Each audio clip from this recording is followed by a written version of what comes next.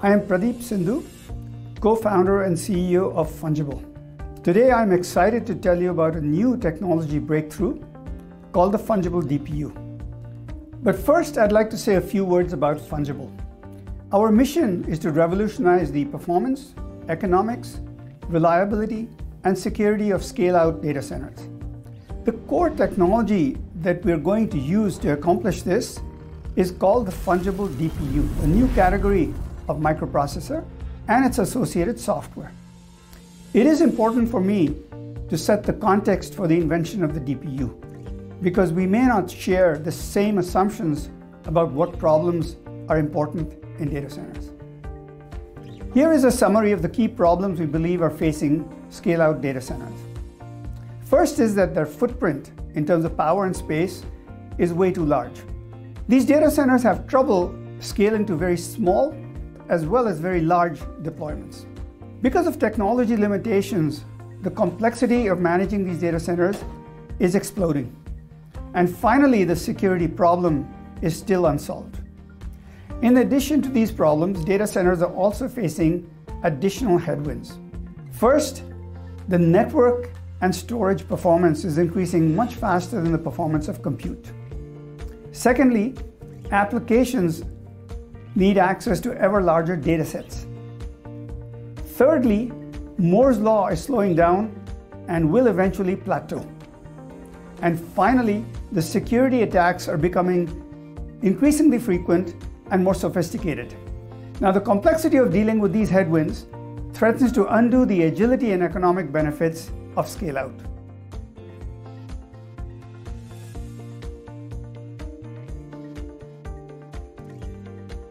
We believe data centricity will drive the next generation architecture. We call this architecture hyper disaggregated. In this architecture, there are a small number of server types. For example, general purpose compute x86 servers, GPU servers, SSD servers, and hard drive servers. Each server is powered by a DPU, which connects to standard IP over Ethernet network. This fundamentals-based approach required us to confront the root causes of problems in data centers. There are two really important problems. The first one is inefficient execution of data-centric computations inside nodes. Examples of data-centric computations are the network stack, the storage stack, the virtualization stack, and the security stack. Second one is inefficient data interchange between nodes. There are three other problems which are also important, and these are unreliability, inflexibility, and insecurity of the infrastructure. The fungible DPU's design addresses all five root causes in a single device, and this is really important. First of all, it performs data-centric computations at least an order of magnitude more efficiently than existing engines. It implements very efficient interchange of data between nodes in a data center. It provides fundamental improvements to the reliability of network and storage. It supports strong end-to-end -end security. And finally, it is fully programmable. Now you may be wondering where the fungible DPU sits in a data center. Well, it sits inside each server. Inside the compute nodes, it complements CPUs and GPUs respectively. In storage nodes, it connects to SSDs and hard drives. Now each server through the DPU connects directly to a standard IP over Ethernet network and very significantly, the DPU implements the endpoint of what we call true fabric.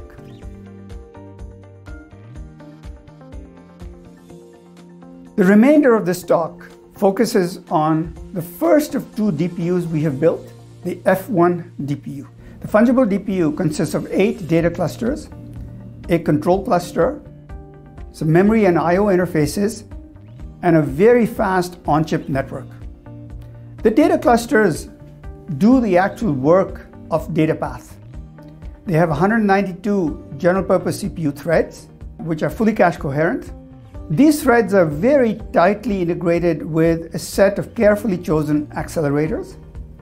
The control cluster itself is designed to run standard Linux. It has eight processor threads and it contains a secure complex. The memory and I.O. interfaces on one side connect to PCI Express, on the other side they connect to a standard Ethernet network, and the external memory is of two types, standard high capacity memory which is built using DDR4 and then high bandwidth memory which is built using HBM. Now diving into the data cluster itself, the data cluster, of course, uh, runs the data path. It contains six cores, each core having four threads. These are simultaneous multi-threaded cores. There are also six accelerators. These accelerators are very tightly coupled to the general purpose CPUs, and they're also multi-threaded, heavily multi-threaded. And the accelerators are responsible for data movement, data lookup, data security, data reduction, data protection, and data analytics. Turning to the control cluster, the control cluster runs the control plane on the DPU. It has four cores, each which is two-way simultaneous multi-threaded. Now, the control cluster has very, very strong primitives for security. These include a secure enclave, which is responsible for secure boot, for storing keys, private keys securely, so secure key vault. It is also responsible for signing and authenticating binary files. So before any program can be run on the DPU, it has to be assigned binary. There is also a public key engine which implements RSA and elliptic curve algorithms. There is a true random number generator, and there is also a physically unclonable function, which prevents theft of intellectual property. Turning to some more details on CPUs, caches, and external memory, the CPUs are MIPS64. It's a nine-stage, dual-issue, four-way simultaneously multi-threaded pipeline. This pipeline also has a floating point and a SIMD unit. The IPC on data-centric workloads along with switching threads every few hundred nanoseconds is close to 1.5. These CPU cores support full hardware virtualization. They have large layer 1 and layer 2 caches. The layer 2 cache is shared and there is full system-wide cache coherency. And each of these CPUs or CPU clusters is connected to both a high capacity and a high bandwidth memory. The host engine is also very high performance at 512 gigabits per second full duplex, uh, and it's also very flexible. There are 16 independent dual mode controllers. Each controller can be an endpoint or a root complex. When it is an endpoint for an x86, ARM, or other CPU, it provides hardware virtualization, SIOV, and here it has 64 physical functions and 1024 virtual functions. It also supports very fine-grained QoS support all the way to the CPUs. It also provides full software flexibility where network functions, storage functions, and security functions can be fully virtualized. When a controller functions as a root complex, it provides a high-performance abstraction layer, which is able to do fully flexible data and control plane operations, and it connects to and abstracts devices like SSDs, GPUs, and FPGAs. The network engine is a very fast 800 gigabits per second full duplex engine. It's also very flexible and very significantly the DPU implements the endpoint of what we call True Fabric. True Fabric is a network technology that provides some fundamental attributes that are needed and these attributes include full cross-sectional bandwidth, low latency, low jitter, end-to-end congestion and error control, and strong security. One of the key innovations in the fungible DPU is a novel model for programming data paths. Now, in this picture, you can see that there are many, many, many software data threads. These threads run on the MIPS64 CPUs. And then there are also many, many accelerator threads. And these two different types of threads are connected by a very high performance any to any on chip call continue fabric. Now, these primitives implement an abstraction that we call a dynamic data flow graph. And this abstraction is absolutely the key to executing data centric computations at very, very high speeds and with full flexibility.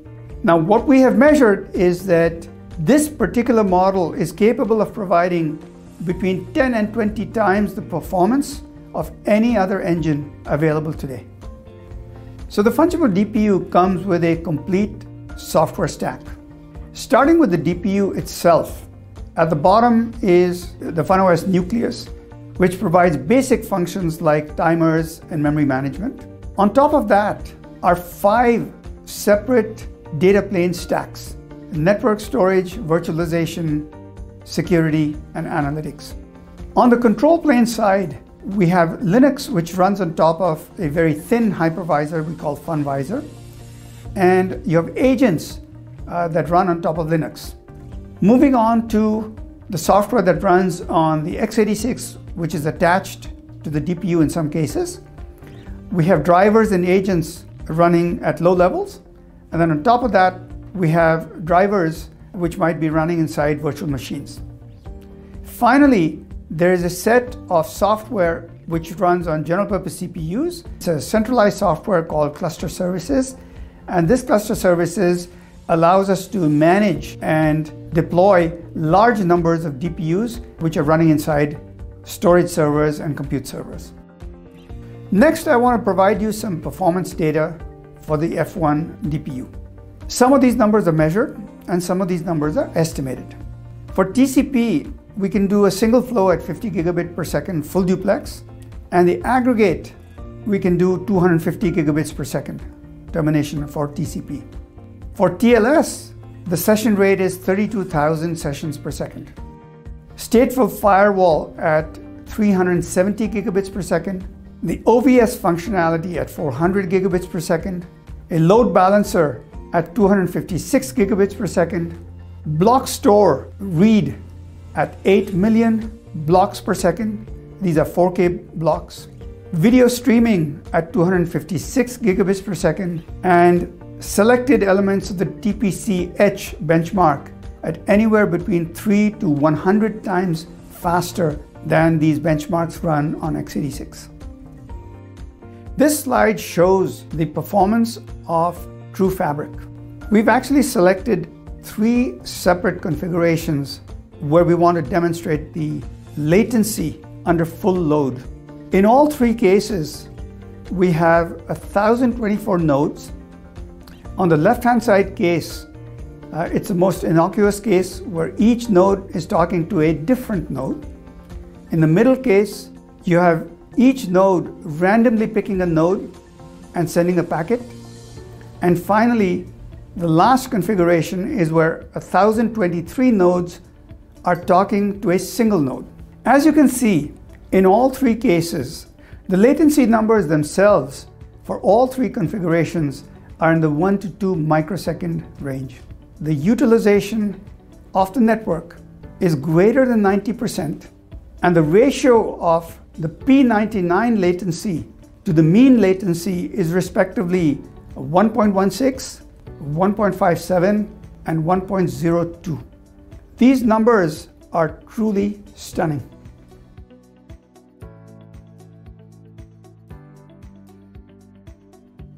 We talked a lot about the F1 DPU, which is designed to sit inside a storage target, can also sit inside an AI compute server, or a security appliance, or an analytics appliance.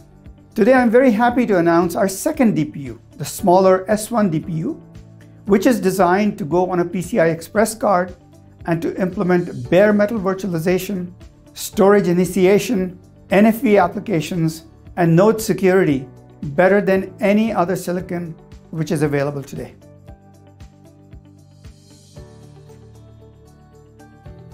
You're all familiar with CPUs and GPUs. Well, now welcome the fungible DPU. The architecture of this fungible DPU is multi-core MIMD with tightly coupled accelerators. It provides very high throughput for multiplexed workloads. The fungible DPU implements True Fabric, which by itself advances the state of the art in networking. And overall, the DPU can perform data-centric computations somewhere between 10 times and 20 times more efficiently than CPUs or GPUs. We believe the fungible DPU is the third socket after CPUs and GPUs, and it will carry data centers for the next decade. So finally, in conclusion, I would like to take pains to emphasize that we're not only building chips and low-level software, but we're using this core technology to build systems and solutions to improve data centers. Please stay tuned for news on these systems. Thank you for your time. We look forward to engaging with you.